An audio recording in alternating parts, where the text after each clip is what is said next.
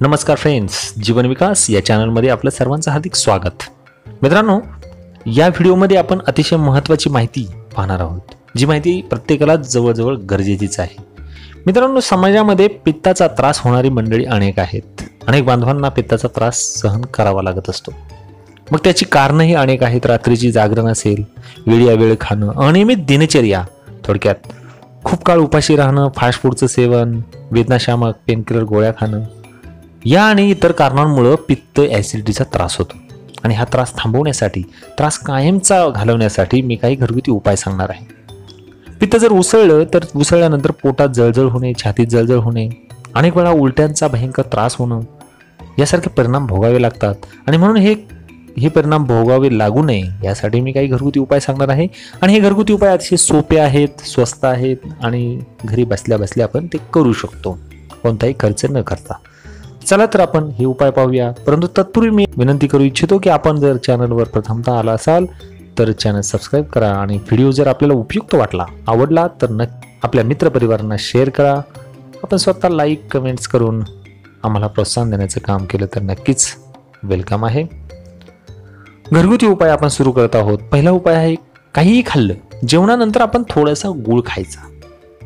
हा एक अतिशय रामबाण उपाय आहे. दुसरा आहे सकाळी दोन ग्लास कोमट पाणी प्यायचं.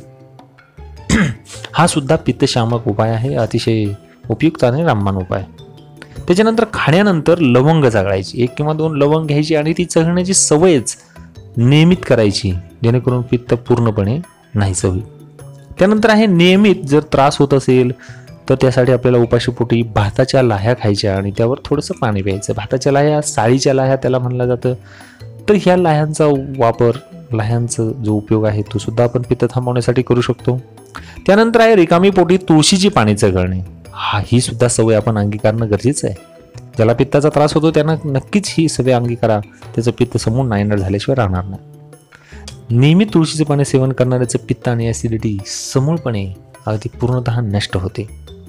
त्यानंतर अर्धा चमचा बडीशेप खाण्याची सवय जेवणानंतर ठेवावी. ही सवय अनेकांना असतेच परंतु ज्यांना पित्ताचा त्रास होतो त्यांनी मात्र ही सवय जाणीवपूर्वक अंगीकारली पाहिजे.